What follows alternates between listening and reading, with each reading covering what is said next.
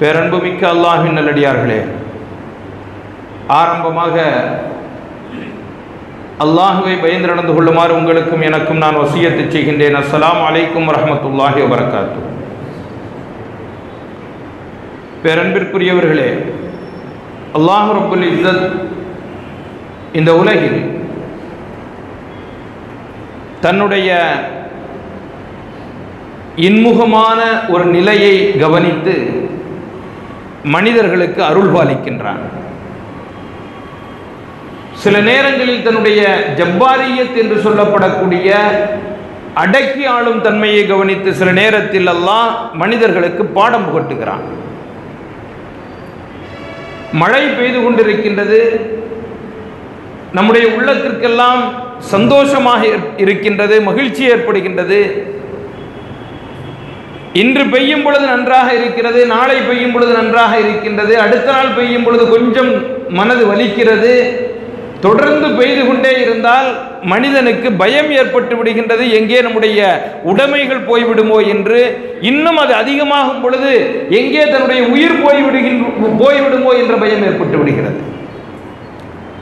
இது அல்லாஹுவினுடைய ஜப்பாரியத் சில நேரங்களில் இப்படிப்பட்ட நிகழ்வுகளையும் அல்லாஹ் இந்த உலகத்தில் ஏற்படுத்தி கொண்டே இருப்பான்.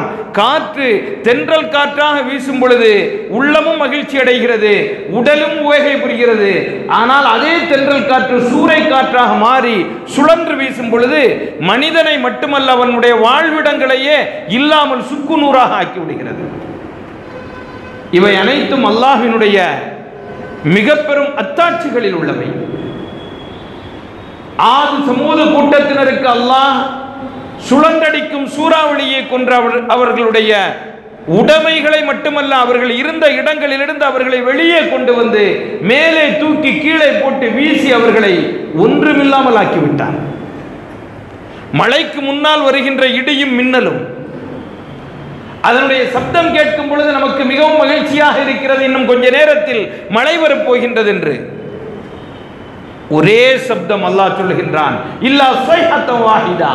ஒரே சப்தம் அந்த சப்தத்திற்கு பிறகு அந்த இடத்தில் மனிதர்கள் வாழ்ந்தார்களா? இல்லையா என்ற அளவிற்கு ஒன்றுமில்லாமல் நாம் ஆக்கிவிட்டோம். எனவே இயற்கை பேரிடர்கள்.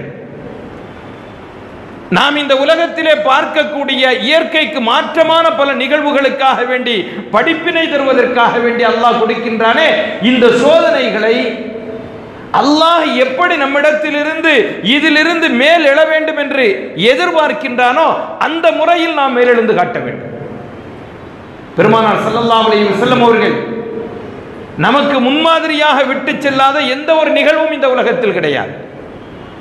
ஒரு நேரம் அண்ணலம் பெருமானார் ஸல்லல்லாஹு அலையும் செல்லும் அவர்களிடத்திலே சில கூட்டத்தினர்கள் வருகின்றார்கள்.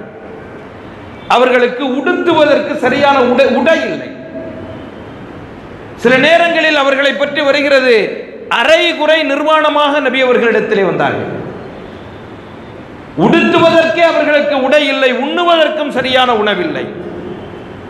எனவே அரைகுறை ஆடைகளை உடுத்தியவர்களாக ஒருவர் பின் ஒருவர் மறைந்து வந்தவர்களாக பெருமானார் ஸல்லல்லாஹு அலி வஸல்லம் அவர்களுடைய சமூகத்திலே வந்து நின்று ஒரு இடத்தில் உட்கார்ந்து கொண்டு சொல்லுகின்றார்கள் அல்லாஹ்வின் தூதரவர்களே எங்களுக்கு ஏதாவது உதவி செய்யுங்கள். நாங்கள் வறியவர்கள். நாங்கள் சாப்பிடுவதற்கும் உணவில்லை. நாங்கள் உடுத்துவதற்கும் உடை இல்லை அவர்களை பார்த்து ஹதீஸிலே வருகிறது பெருமானார் சல்லல்லா அலி வல்லம் அவர்கள் அழுதார்கள். அந்த நிலையில் அந்த கூட்டத்தினர் இருந்தார்கள். அண்ணலம் பெருமானார் சல்லல்லா அலி வல்லம் அவர்களோ இந்த உலகத்திலே நாம் பார்க்கின்ற மிகப்பெரிய செல்வம் படைத்தவர்களை போன்றா இருந்தார்கள் அவர்களுக்கு மாட மாளிகைகள் இருந்தனவா? நினைத்த நேரத்திலே கொடுப்பதற்காக வேண்டிய அவர்களிடத்திலே செல்வங்கள் இருந்ததா? ஒன்றுமே இல்லை. அவர்களை வலிந்து ஏற்றுக்கொண்ட வறுமை. அல்லாஹ் அவர்களுக்கு இந்த வறுமையை போக்கி மிக பெரும் செல்வத்தை கொடுக்கின்றேன் என்று சொன்ன பிறகும் கூட பெருமானார் சல்லல்லா அலி வசல்லம் அவர்கள் சொன்னார்கள் அல்லாஹ் நான் ஒரு நாள் பசித்திருக்க வேண்டும் அந்த நேரத்தில் பொறுமையை மேற்கொள்ள வேண்டும். இன்னொரு நாள் நான் சுகித்திருக்க வேண்டும் அந்த நேரத்தில் உனக்கு நன்றி செலுத்த வேண்டும்.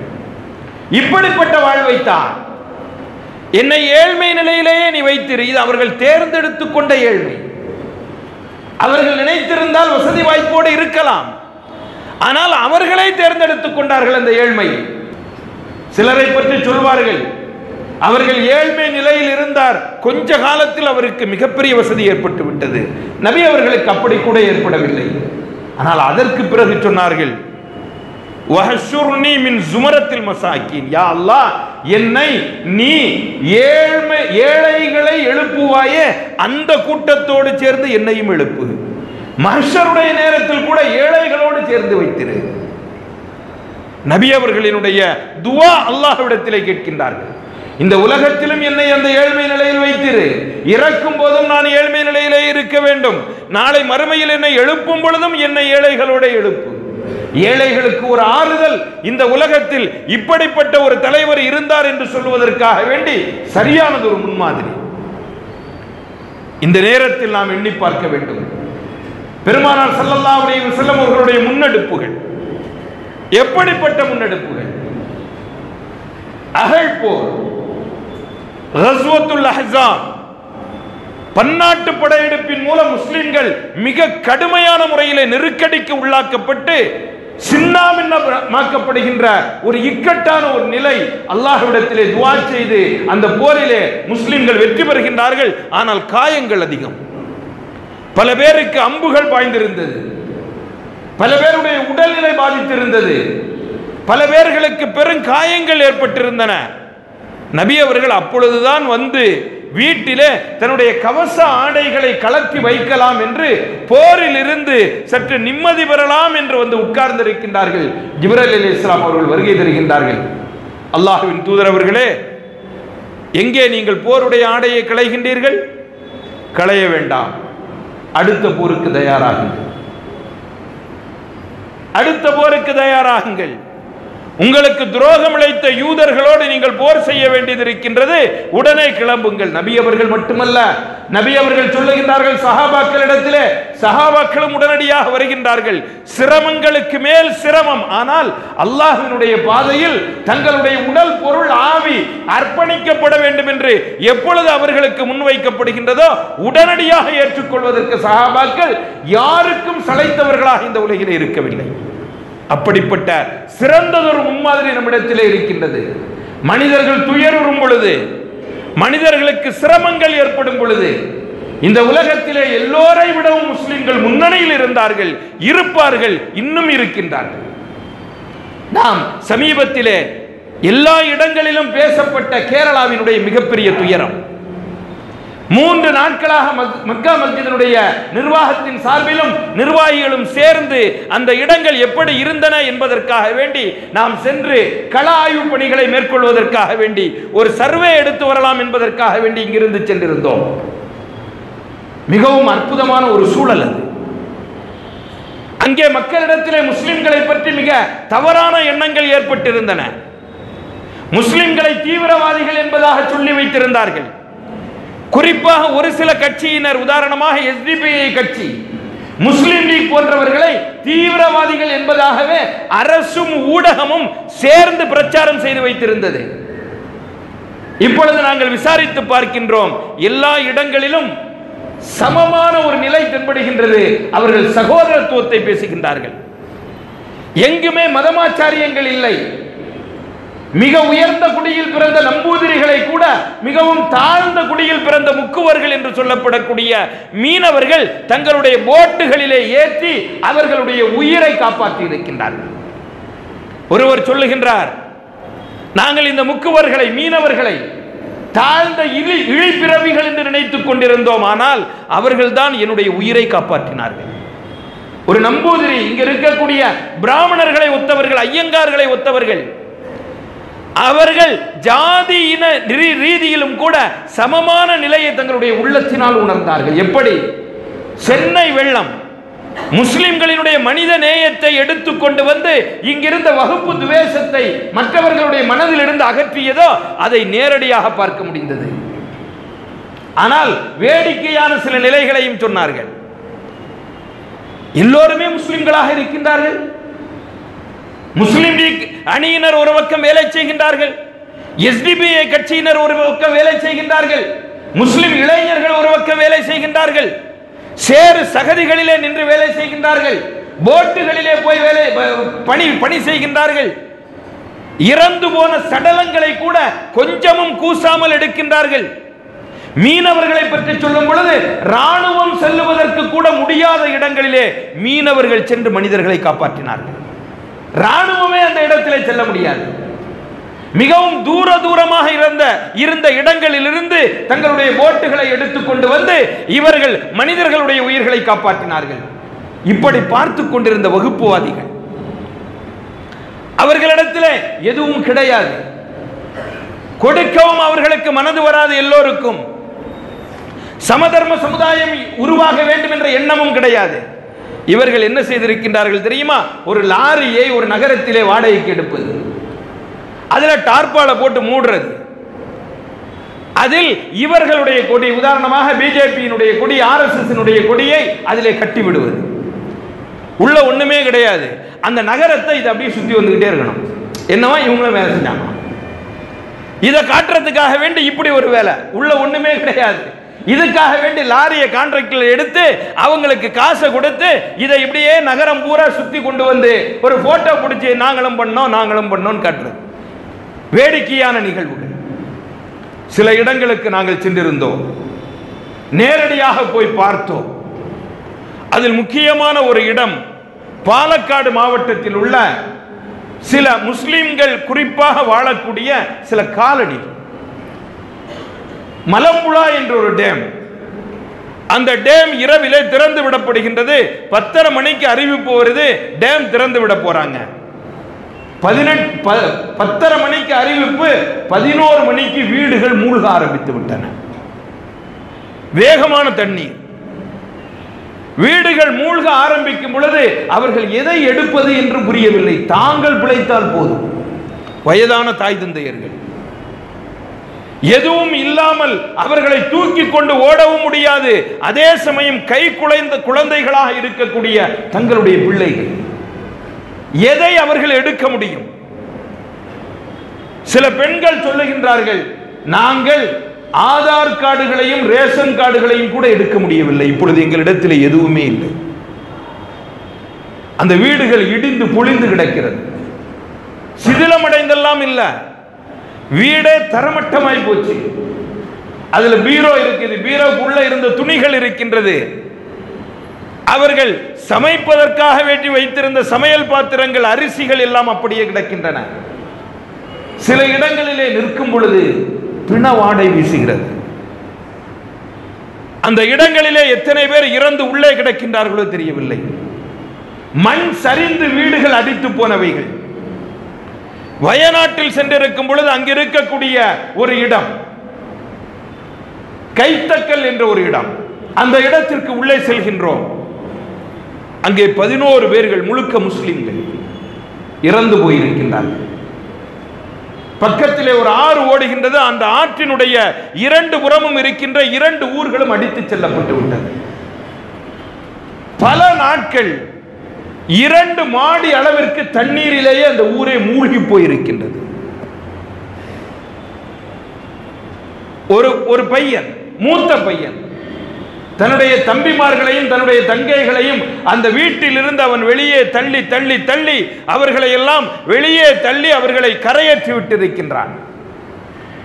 எல்லோரையும் வீட்டிலிருந்து வெளியே தள்ளிவிட்டு இவன் உள்ளே இருந்து கொண்டிருக்கும் பொழுதே நிலம் சரிந்து கதவு அடைத்து விட்டது. அடை அடுத்து இன்னொரு தண்ணி வருகின்றது. அந்த வீட்டோடு சேர்த்து அவனையும் அடித்து சென்று விட்டது. இப்படி மூத்துகள் இவ்வாறான இருக்கக்கூடிய அந்த நிலைமைகளை பார்க்கும் பொழுது நம்மால் ஒன்றுமே பேச முடியவில்லை. இவர்களுக்கு நிவாரணங்கள் கிடைக்கின்றன. அல்ஹம்துலில்லா அங்கு இருக்கின்ற அரசு எந்த விதத்திலும் குறைவின்றி நிவாரணங்களை கொடுக்கின்றது. இங்கிருந்து கொடுக்கப்படக்கூடிய பணங்காசுகளை நிவாரண நிதிக்காக வேண்டி முறைப்படி செலவு செய்கின்றது. அல்லாமலும் இந்த வயநாடு என்ற பகுதி கர்நாடகாவினுடைய ஹைவேயில் இருப்பதன் காரணமாக கர்நாடகாவினுடைய மக்கள் கர்நாடகா ஜம்மியத்துலமாய் கர்நாடகாவினுடைய மக்களிடமிருந்து அங்கு நிறைய நிவாரண பொருள்கள் வந்து கொண்டிருக்கின்றன. அரிசி வருகிறது காய்கறிகள் வருகின்றன தேவையான வாழ்வதற்காக வேண்டியுள்ள பொருள்கள் வருகிறது உடைமைகள் வருகிறது. ஆனால் இப்பொழுது நிலைமை என்னவென்றால் நாங்கள் அந்த மக்களை பார்க்கின்றோம். சில பேர் வீட்டிலிருந்து இன்னும் தண்ணீரை ஒற்றி ஒற்றி எடுத்துக் கொண்டிருக்கின்றார்கள். இன்னும் தண்ணீர் நிற்கின்றது. இரவு பகலாக அவர்களுக்கு தூக்கம் இல்லை வயதானவர்கள் வெளியிலே வந்து ஒரு இடத்திலே அப்படியே அமர்ந்து பார்த்து கொண்டிருக்கின்றார்கள். அவர்களை பார்ப்பதற்கே பரிதாபமாக இருக்கிறது. இளைஞர்கள் அந்த பகுதியிலே சென்று சுத்தப்படுத்திக் கொண்டிருக்கின்றார்கள். தன்னார்வ நிறுவனங்கள் உள்ளே இருக்கின்ற சேறு சகதிகளை எல்லாம் வெளியே எடுத்து போட்டு சில வீடுகளை சுத்தம் செய்து கொண்டிருக்கின்றது. பல வீடுகள் இடிந்து போய் கிடக்கின்றன. அந்த வீடுகளிலும் அவர்களுடைய பொருள்கள் எல்லாம் அப்படியே மூழ்கி போய்விட்டது. படுப்பதற்கு அவர்களுக்கு சரியான வசதி இல்லை. அந்த இடத்திலே ப- அந்த நிவாரண முகாமிற்கு நாங்கள் சென்றிரு சென்றிருந்தோம். ஒரு சின்ன ஸ்கூல் அந்த ஸ்கூல்ல வச்சு நிவாரணங்களை கொடுத்து கொண்டிருக்கின்றார்கள். அந்த ஊரினுடைய பள்ளி தான் அந்த ஊருக்கு நிவாரண முகாமாக செயல்படுகின்றது. அல்லாஹ் இந்த மக்களுக்கு கொடுத்த மிகப்பெரிய வெகுமதி பள்ளி. எல்லோரும் வந்திருக்கின்றார்கள். எந்த விதமான பாகுபாடும் இல்லை. அங்குதான் நிவாரணப் பணிக்காக வேண்டி வந்தவர்களுக்கும் உணவு ஆக்கி கொடுக்கப்படுகிறது. அங்குதான் அவர்கள் உட்கார்ந்து சாப்பிடுகின்றார்கள். வீடற்றவர்களும் அதையே முகாமாக பயன்படுத்தி அங்குதான் தங்கி இருக்கின்றார்கள் இன்னும் அவர்களுக்கு வீடு கொடுக்கப்படவில்லை.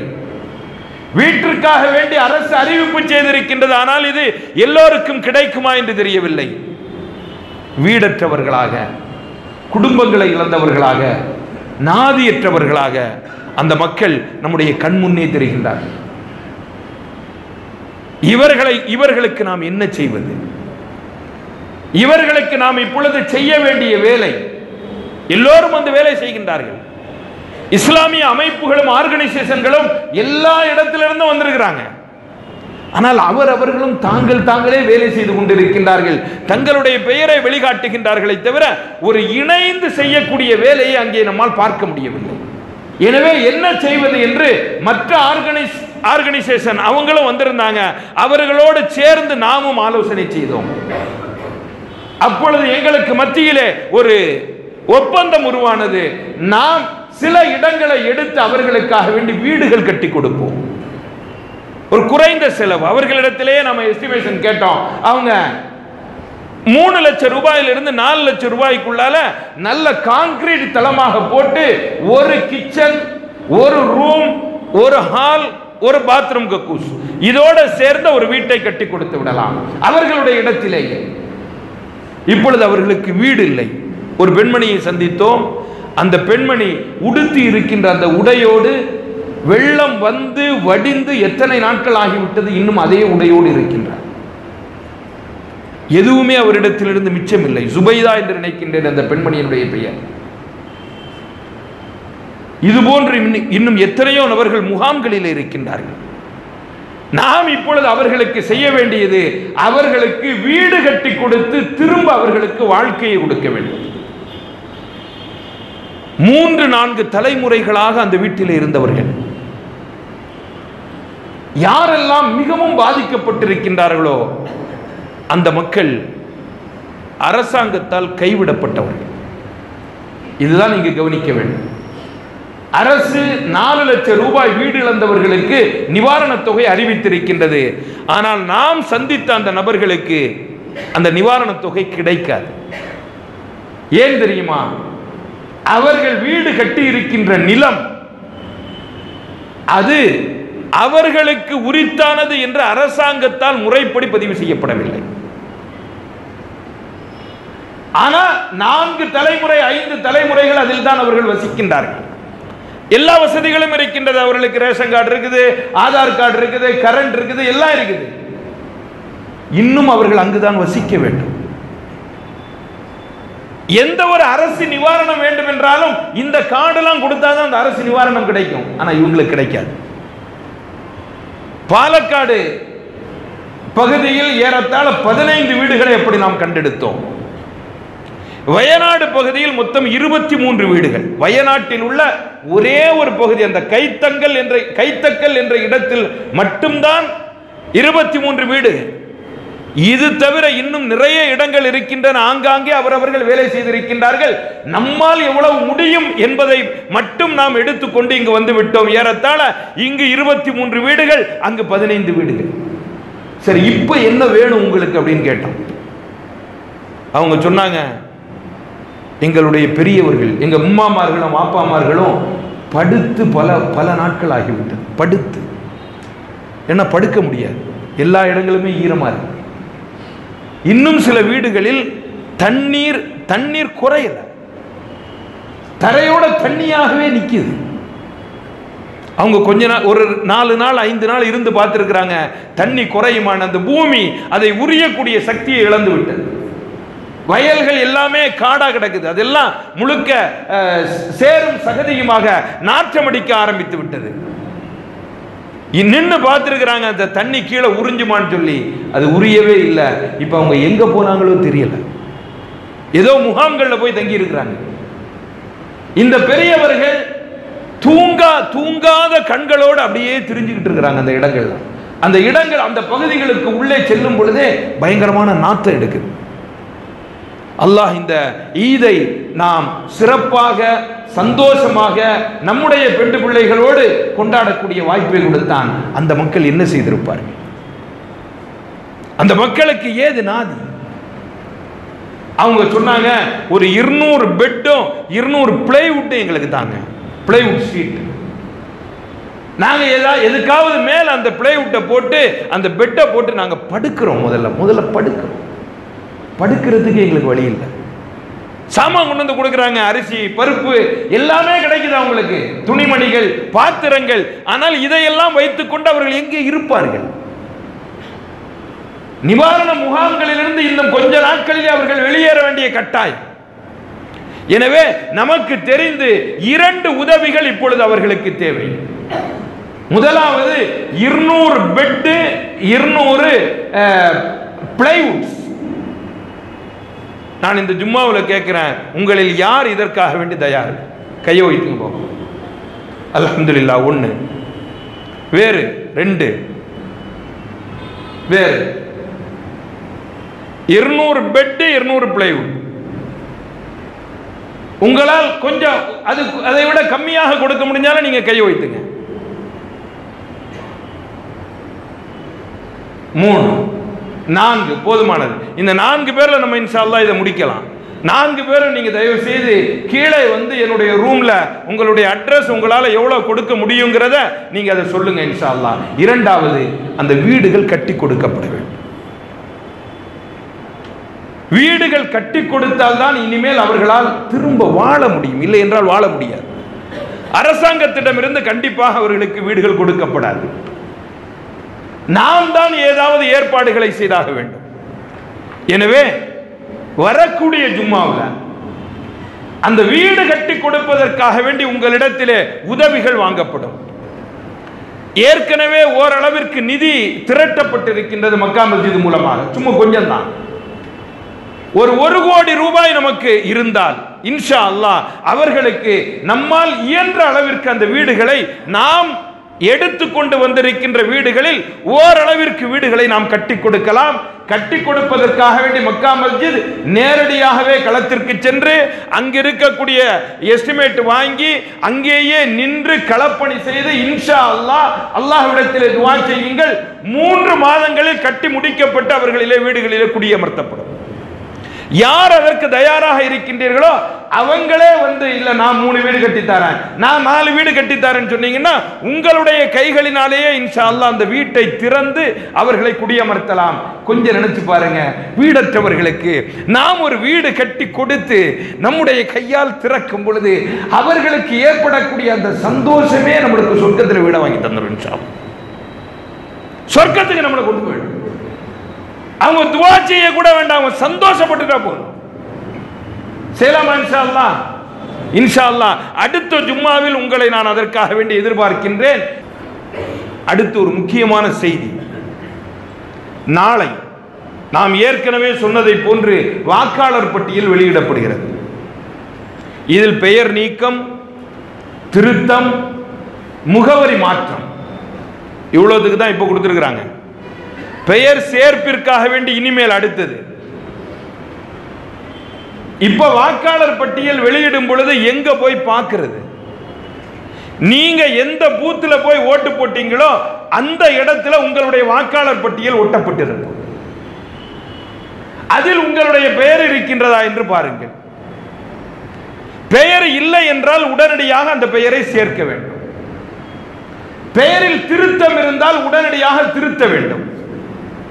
முகவரி மாற்றம் இருந்தால் முகவரியை மாற்றி அதில் நீங்கள் சேர்க்க வேண்டும்.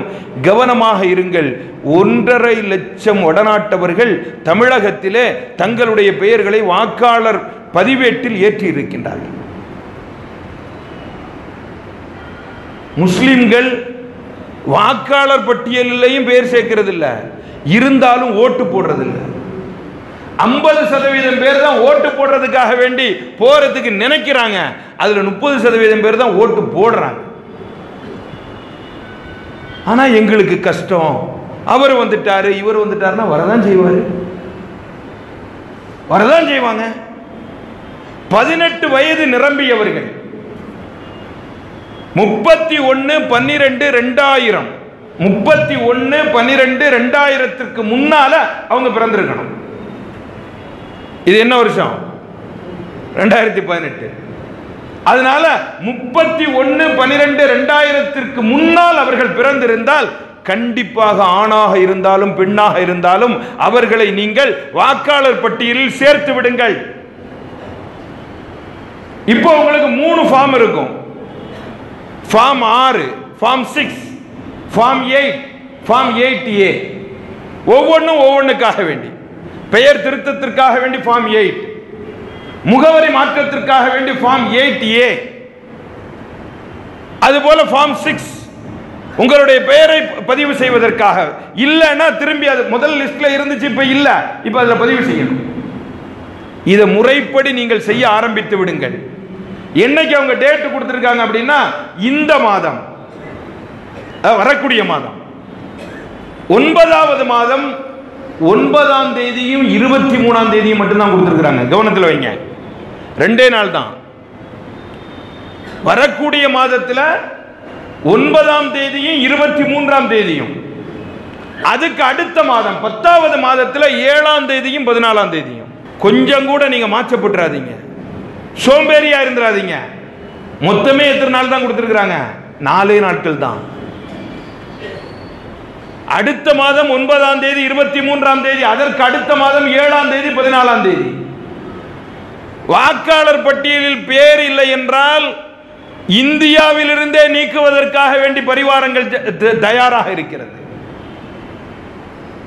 அசாமிலே இதைத்தான் செய்தார்கள். அவர்களுக்கு இது ஒரு பரீட்சாத்தம் இப்படி செய்து பார்ப்பதிலே அவர்களுக்கு ஒரு ஆனந்தம். முதலாவது நாம் பெயரை வாக்காளர் பட்டியலில் சேர்க்க வேண்டும். இனி கடைசியில் ரெண்டாயிரத்தி பத்தொன்பது தேர்தலில் ஓட்டு போடுற வரைக்கும் உங்களுக்கு பின்னாலே அலைஞ்சுக்கிட்டு இருக்க வேண்டியது இருக்குது.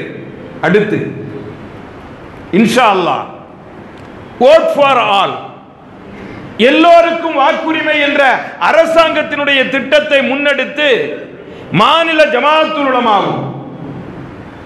மஸ்ஜிதுகளினுடைய நிர்வாகமும் ஃபெடரேஷன் இந்த இரண்டும் இணைந்து எல்லா இயக்கங்கள் கட்சியோ கட்சிகளோடும் சேர்ந்து ஒரு மிகப்பெரிய முன்னெடுப்பை தயார் செய்வதற்காக வேண்டி மிகவும் ஆயத்த பணிகளிலே ஈடுபட்டிருக்கின்றன.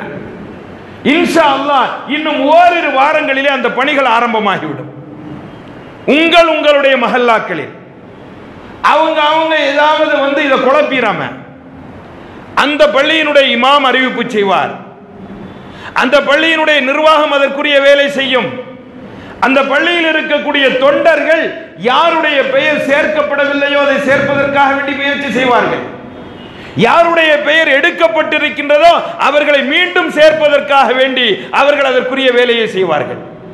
இதற்காக வேண்டி ஒரு அற்புதமான திட்டம் தயாரிக்கப்பட்டு அதனுடைய வேலைகள் ஆரம்பிக்கப்பட்டு செயல்பாட்டுக்கு வந்துவிடும் இன்ஷா அல்லாஹ் அதற்குரிய முன் வேலைகள் எல்லாம் தயாராகி கொண்டிருக்கின்றது.